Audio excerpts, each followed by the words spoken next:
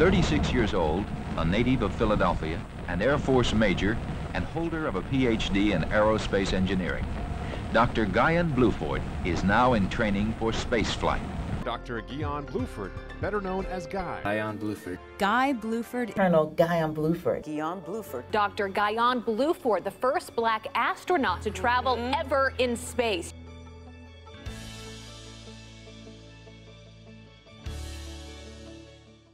Guion Bluford Jr. was born in 1942, one of three children, and was raised in West Philadelphia. He was once told in high school that he wasn't college material before attending our very own Penn State University. During his time here, he obtained a degree in aerospace engineering as well as commissioned in the Air Force through ROTC.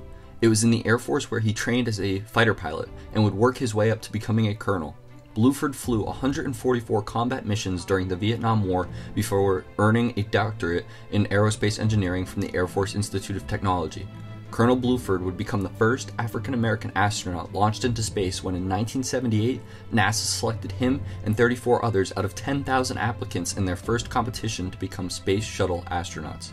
On August 30th, 1983, he rode into Earth's orbit on the Shuttle Orbiter Challenger on the STS 8 mission before launching into space three more times in 1985, 1991, and 1992 on three more missions.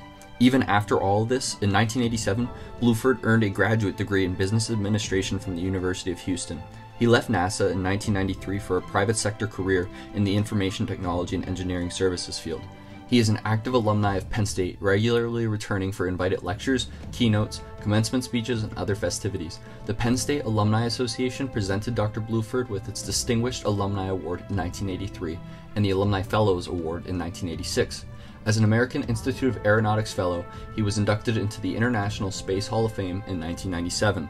With a lifetime full of accolades and awards under his belt, Colonel Retired Bluford lives as an inspiration to us all. His career, as well as his legacy, continues to inspire many every day.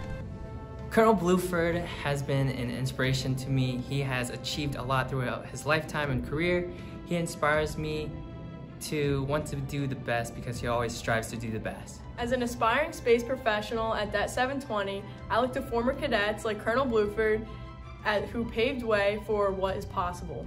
Colonel Bluford is a source of great inspiration for current cadets like me who dream of becoming the next generation of space professionals.